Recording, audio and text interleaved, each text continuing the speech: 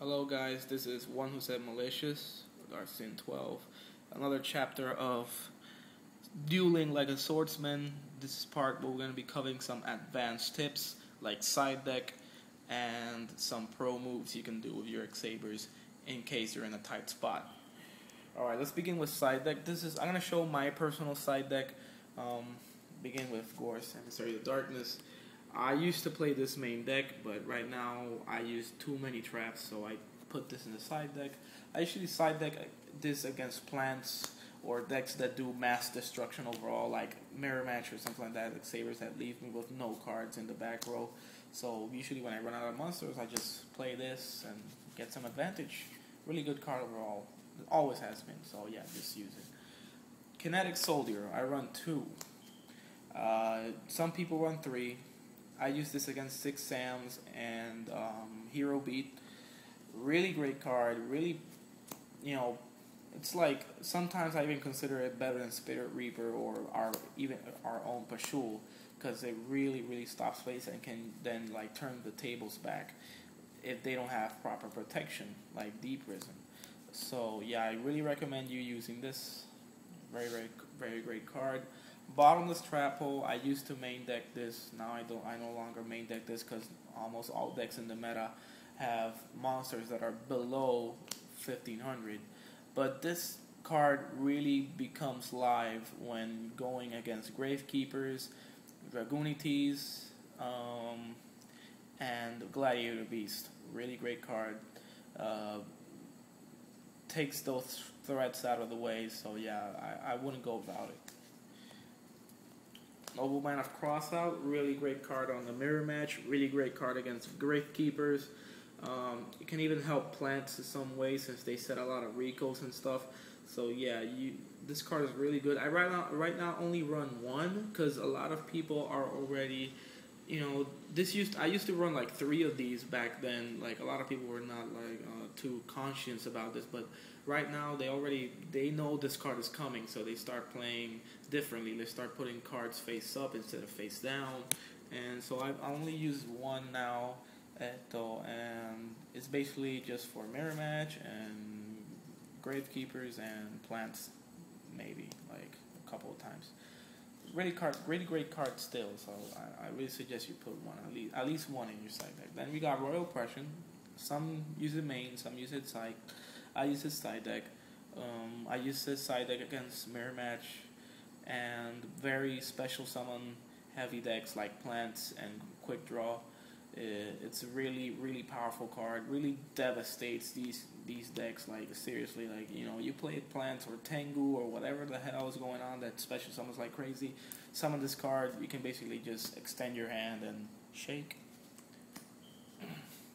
Cyber Dragon. You'd be surprised that Machina or Machina or Machina, whatever you want to call it, is not is not the only one you're going to be using Cyber, Cyber Dragon against. I've used this against almost all kinds of decks. I've used this against Gravekeepers to run over their 2,000 monsters, and it really, really catches them off guard. I've, I've I use them to like bait out some warnings because you know a 2,100 attack instant monster, level five by the way, really great card to synchro into. It, it's kind of annoying, you know, it, it, it nets you a lot of field advantage. I've used this against um, gladiators to since they use, they also use Cyber Dragon, so I basically steal their Cyber Dragon and go into Chimeratech, or I just run over like Wari and just yeah. A lot of people are not using Wobble tool right now, so yeah, this card is really powerful right now. I wouldn't I wouldn't restrict it just for plants. I would use it for other stuff too. Bomb was already discussed it. Gotham match, Gotham match, or Gozen match, or however you want to call it. Really, really powerful card. This card devastates some decks, like especially plants. They run like several things. You gotta see the faces of people when you play Gotham match. They play Dandelion, then they're like, "I destroy Dandelion." Oh, uh, you can't play. Or or they go like, "Oh, Debris Dragon," and then like, Gotham match. You can't summon that Dandelion. Oh well yeah, this this card is really good, especially X-Sabers, since X-Sabers are all Earth monsters. So yeah, I really highly, highly recommend using this card. Like it's it's really powerful. Uh, it, I I've totally shut down a lot of Tengu decks and um, a lot of like decks that run multiple uh, attributes in the in the same deck. This even prevents synchros. Like example, they have uh, two Earth monsters, but they want to go into a Brionac. They can't go into a Brionac, you know, because this card just won't allow it. It's in the rulings. It just won't allow another attribute to come in. This card is going to be really good against elemental heroes when they come in on um, Generation 4. So I really would suggest you keep this in your side deck for those matches. Gemini Imps, I, I just wanted to make a random mention about this card here. I use it against Wraith Keepers, um, against their dreaded Royal Tribute, but it was back then when it was at 3. Now that it's at 2, it's like, it's not so powerful. And if it gets limited in the next ban list, well, whatever.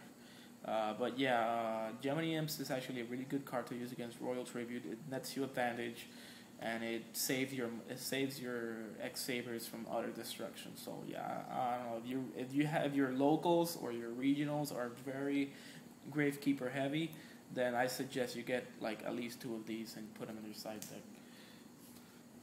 Some that didn't appear here are Puppet Plant and um, Closed Forest. Uh, you know, Puppet Plant's really good against Samurai. Um, Closed Forest is against Dragunity and Gravekeepers. And Thunder King Rai-Oh, some people play Thunder King, although I really don't suggest it. Thunder King is just used when you're in mirror match and you already have control of the game. So you're like you're basically on stage three of your gameplay. But it's a very very risky card and it demands a lot of skill. Now, before I run out of time, I'll, let's go to some advanced plays here. Uh, really quickly, um, some people don't know that Hyunlei can activate its effect outside of the field. So, example, you play Hyunlei, they then your opponent answers with uh, Effect Veiler or answers with Skill Drain. You can use Torrential Tribute or Compulsory Evacuation Device, which I have it around here to, or even at the, you can even use like Book of Moon. You can use Book of Moon to like turn it face down, turn to the hand, or send it to the graveyard so it can activate its effect, destroy three Tarak cards face down, and net you a lot of advantage. A lot of people actually don't know that, and yeah, that's a very pro move. And if, in case they ask you that, well, you don't have to fear. Just you, just, just do it and just say that its effect is activating outside of the field. So in other words, it cannot be targeted by those effects. Another thing that a lot of people don't know is about Fallen Knight. Fallen Knight um, can activate its effect immediately when it's destroyed. So, for example, if you have if you if your opponent has a Ryko face down, you have a target in the graveyard, say a Pashuul or an Emmersblade, or even another Fallen Knight, maybe a Dark Soul. You can go ram into into Ryko. Ryko destroys you, Yet you still get to activate the effect and get to revive that Emmersblade just keep attacking. It's really, really, really, really nice trick. Something that a lot of people don't know. I even, even I include myself in this. I found out about that like two weeks ago, and I wanted to share it with everybody.